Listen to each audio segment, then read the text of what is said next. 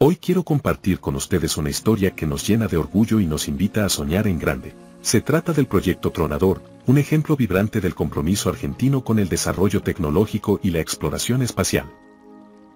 La historia de la exploración espacial en Argentina se remonta a la década de 1960, cuando se creó la Comisión Nacional de Investigaciones Espaciales, CNIE.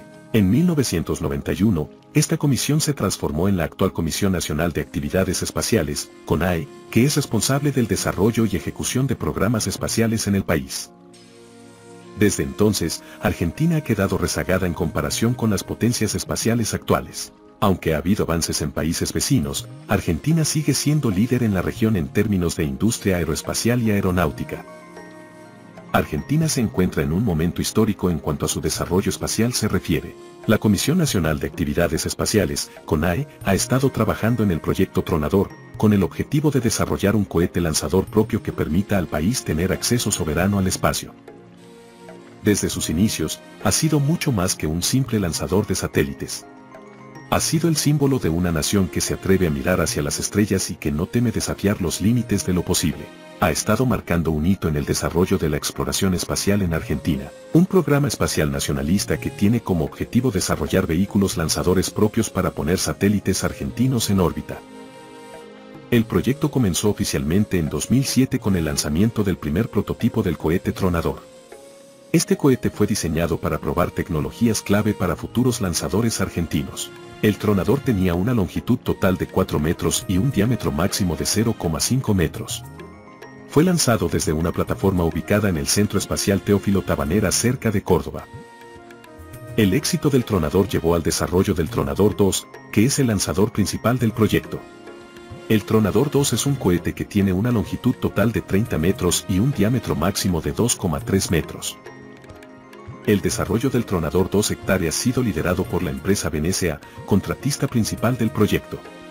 BNSA ha coordinado la participación de numerosas instituciones del sistema científico-tecnológico y empresas en el desarrollo del Tronador 2 y otros prototipos. Forma parte del proyecto Inyector Satelital para Cargas Útiles Livianas, ISCUL, del Programa de Acceso al Espacio de la CONAE. Se utilizarán prototipos TI-70 y TI-150 impulsados por oxígeno líquido y querosene para realizar los ensayos y probar los motores.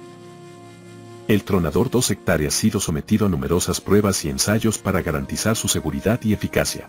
En 2014 se realizó el primer lanzamiento del cohete Tronador Febrero de 70, que es un prototipo del Tronador 2 con una capacidad de carga reducida. Este lanzamiento permitió a los ingenieros evaluar el rendimiento del cohete en condiciones reales. El objetivo principal del proyecto es completar el ciclo espacial y contar con capacidad propia de fabricación y lanzamiento de satélites. El proyecto ofrece beneficios económicos, impulsa la industria aeroespacial y brinda independencia y soberanía al país.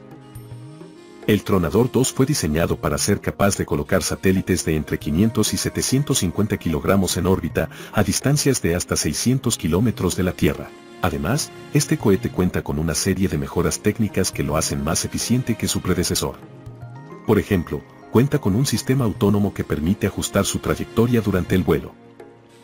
En cuanto al accidente que sufrió el cohete durante una prueba en 2014, cabe destacar que esto no detuvo el proyecto. De hecho, gracias a este incidente se pudieron identificar y corregir errores en el diseño del cohete. Además, se creó una comisión especial para investigar las causas del accidente y tomar medidas para evitar que vuelva a ocurrir. El lanzador final será el Tronador 2-250.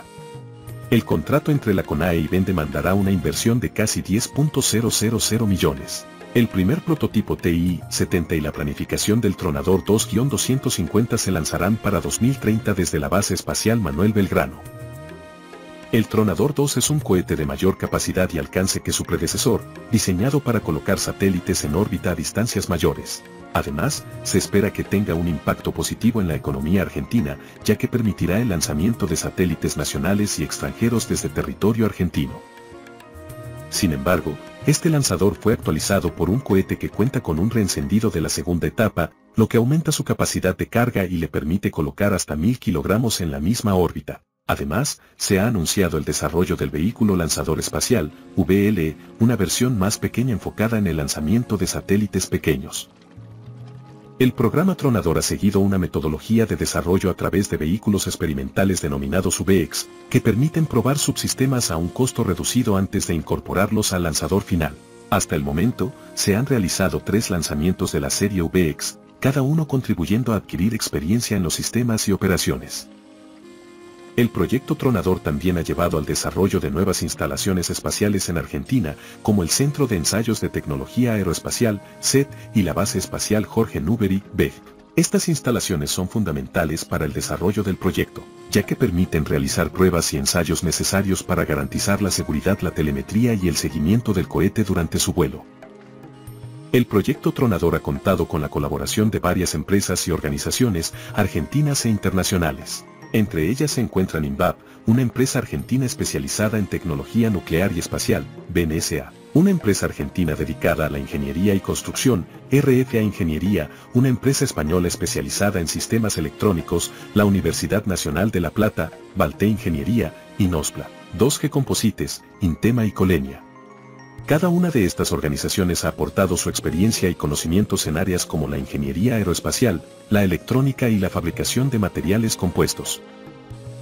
FADEA, la fábrica argentina de aviones, ha participado en la fabricación de las estructuras del cohete, mientras que Valte Ingeniería ha sido responsable del diseño y construcción de los sistemas de control de tierra.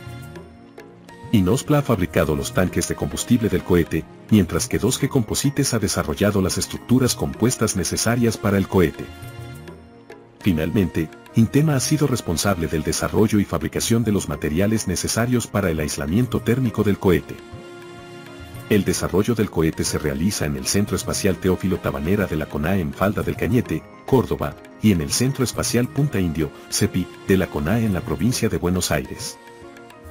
El lanzador final será el Tronador 2-250, que se espera sea lanzado por primera vez en 2030 desde la base espacial Manuel Belgrano, no obstante. La prensa argentina se ha dedicado a publicar artículos alarmantes sobre la peligrosidad de los combustibles hiperbólicos utilizados en el VX-1A.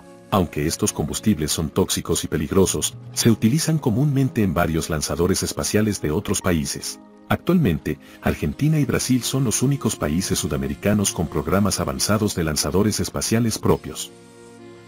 La Universidad Nacional de La Plata brindará asesoramiento técnico en el proyecto. El decano de Ingeniería de la UNLP destacó que Argentina cuenta con la capacidad para fabricar un lanzador, pero se necesita una política de Estado a largo plazo y el apoyo del gobierno. El director ejecutivo y de carrera del Departamento de Ingeniería Aeroespacial de la UNLP, Juan Sebastián Dilnero, explicó que la facultad brindará asesoría técnica y realizará trabajos de desarrollo y diseño para BEN y la CONAE. Se desarrollarán componentes, diseños conceptuales y de detalle, así como materiales y procesos productivos. El proyecto Tronador es un ejemplo del compromiso argentino con el desarrollo tecnológico y la exploración espacial.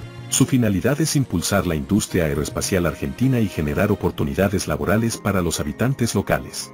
La planta del proyecto Tronador ya ha brindado empleo a varias personas en la zona de Pipinas, lo que ha tenido un impacto positivo en la economía local. Sin embargo, el proyecto Tronador también enfrenta desafíos técnicos, económicos y políticos.